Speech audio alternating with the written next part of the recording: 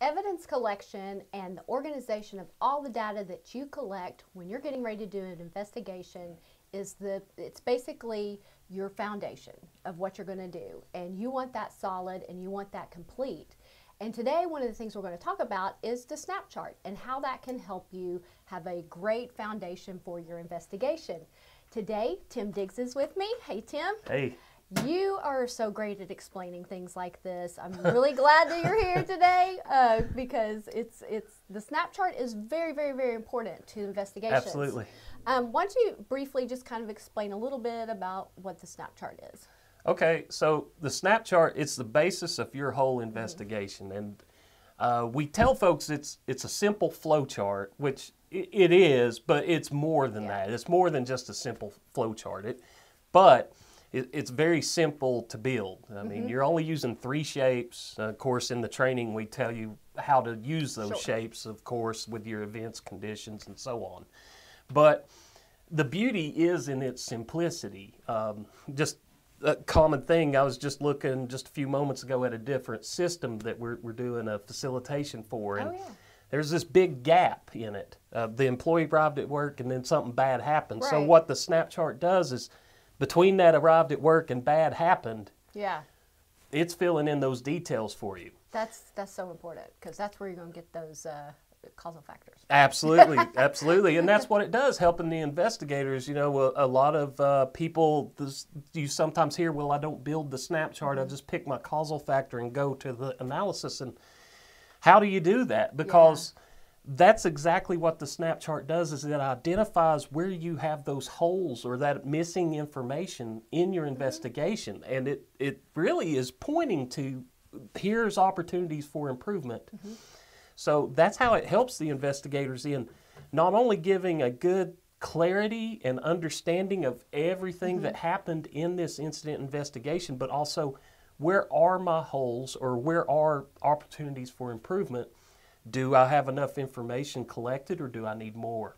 And uh, we just said it's an investigation. It's not proving a hypothesis or anything like that. Right. It is an investigation. Right. So you're you want to gather all that data. That's so important. That's how mm-hmm. you're going to um, actually. A lot of times, people will sometimes will send us snap charts to review or, or things like that, and you know we can all of a sudden by looking at what they have, we may ask a question that they haven't thought of. And it's like when you get your team together and you're doing that, that snap chart, that's what happens. People yep. work together. It's a great brainstorming type thing. Once you've mm-hmm. gathered all your evidence, you learn what you need to go back yep. and ask for. And displaying it too. Yeah. You know, you got the two options. You could still do the post-it notes on the wall. Yeah. And the the teammates come in the room for the meeting and, and exactly, you know, or you can use the software yeah. and share it that way. But um, that's exactly what I tell students in classes. Mm-hmm. I say, tell me the story. Mm-hmm. Imagine I'm a layperson. I'm going to walk in. I need to understand everything on your snap chart, even you know if you're using specific language or mm-hmm. things like that. So it's really a benefit. You, you know your snap chart's complete when you can ask yourself that question. Can Tim come in here and mm-hmm. understand everything that happened without yes. me explaining it to him? you have a good snap chart. And understand the conditions that were involved. Right. You know, each thing that led up, there's not not any holes there. Right, exactly. And like we said, that's the basis of our investigation, that snap chart. The better the snap chart, the better that investigation is going to be. Because if you can imagine, if you got a bunch of missing holes yeah. on the snap chart, you're going to have holes in that investigation. Well, you're going to miss something. Yeah. That could lead yeah. to, to an incident in the future, and that's one of the things that's so great about it. You're not going to just stop the, you know, fix the one thing that happened that actually did lead to the incident, but things that maybe in the future could happen. It's going to help you dig deeper. Yeah, that absolutely. Yep. And, absolutely. and like we say, help people just investigate something one time, not then having to investigate it again because that other thing didn't line up just correctly and the incident happened again. Absolutely. That's why we do root cause analysis is we're trying this bad thing has happened. We don't yeah. want it to happen again. Yeah. And so you're you're exactly right. The only way you're going to do that mm-hmm. is by building that complete snap chart, understanding everything mm-hmm. that happened, where all of those opportunities lie. And then also too something the snap chart helps taproot investigators in that we don't stop at the incident. We we keep going after the incident. Mm-hmm. Right. Did we respond the correct way? E- Even if we did by company policy, is there a better way we Yeah, need to do to this? Is there more to learn? Absolutely. So a snap chart, like I said, though it's simple and easy to Mm-hmm. use and build, it's not something to be overlooked. Absolutely. And it's one of those things that when you are asking all of those questions to dig deeper in your investigation, you end up removing some of that bias that could be there. Mm-hmm. And also, one of the things I really like about it is it's a non blame type of a chart. So when you're doing your interviews with people and stuff like that, you know, you don't want somebody to walk in the room and see their name up there on the chart. Right. You know, it's it's it's going to have a job title or something like that, and it's mm-hmm. only going to have facts, no opinions. So Right. it's like you're going into interview um, with one of the investigators, and you see your name up there. What are you likely to do? You're likely to shut down shut a little down, bit yeah. and be like, "Oh no, Yeah, yeah. you know, I, I I'm in trouble. What, What have I done? And then for? how do I protect myself, or how do I protect my coworker because you see their name up there or something like that? And that's important, just like you said. You may have to call me in. I may be the, the, the, the one that the bad thing happened to, and you need that information Yeah. from me. You need me to be opened and, and with you and understanding that we're looking at the system failures that put me in this bad position, possibly or potentially. So, yeah, absolutely. That um, removing that bias and that blame focus, it it's a part that we teach Yes. not only in the snap chart but the entire Taproot system. That's what it's founded on, and it is it's it's uh, very important. Yeah, it is. And one one of the things we'll do is we'll put up a um, example of a snap chart in the video, so you Yep. can, if you've not seen one before, you can see what we're talking about Yep. because it is just so valuable. You It know, is. even if it's a a small incident that happened, we tell people do a snap chart. I mean, even if you use Taproot for major investigations, you can Yep. use it for your lower risk or your Yep. higher risk incidents.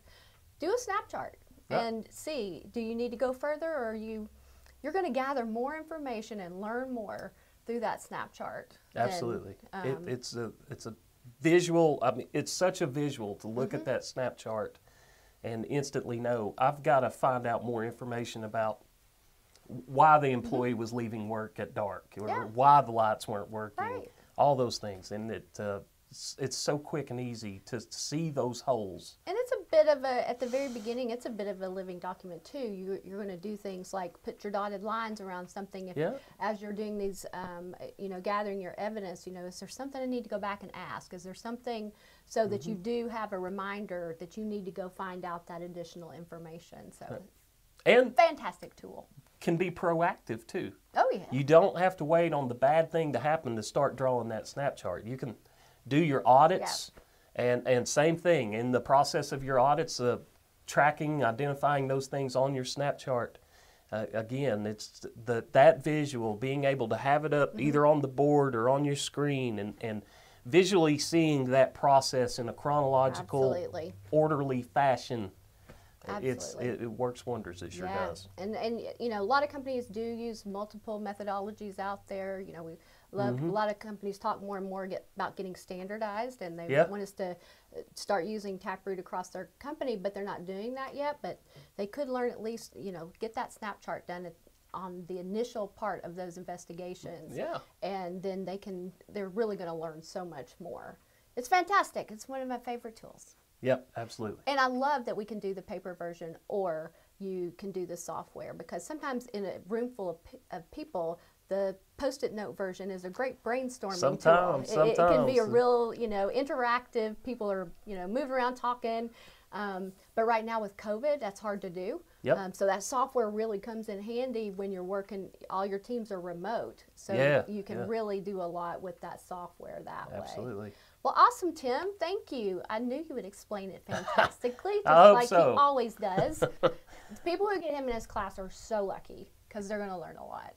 No, we really appreciate you. I appreciate that. Yeah, I'm told. Uh, yeah, but- got a little different style, I guess, but it seems to work well. If you would like for him to teach your course, he can come on site I can. and teach for you because we want to teach you how to do these snap charts and then the rest of Taproot as well.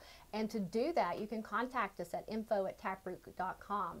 We do have public courses. Um, right now, we don't have as many as we normally do, um, and it's kind of fluid right now with Yeah. COVID, but we are having some. They're practicing all the social distancing, um, safety protocols that are involved, and they're going very well. With COVID, you know, you want to learn about the snap chart and even the essentials Mm-hmm. of Taproot, call us about doing the, we got the online, Yeah. the if- online we can do. If, for like for our licensed clients Yeah. out there, we can do. Yeah. Uh, we have a two-day virtual that we can do for you, and that's going really well as also. So. Yep, absolutely. Um, but we will figure out a way to, to get you trained. So just contact us. Go to our website. Look at our on our courses page to see where upcoming public courses are, or contact us for on-site courses. And I guess let's see. Uh, subscribe to the channel. yep, Like Tim, and uh, please. please like Tim and uh, ring, uh, click the notification bell to find out when we have more videos coming up in the future, which is actually weekly. So you will want to know when those are coming up. Well, thank you, Tim, Thanks for having me. and thank you all for joining us. We'll see you back here next week.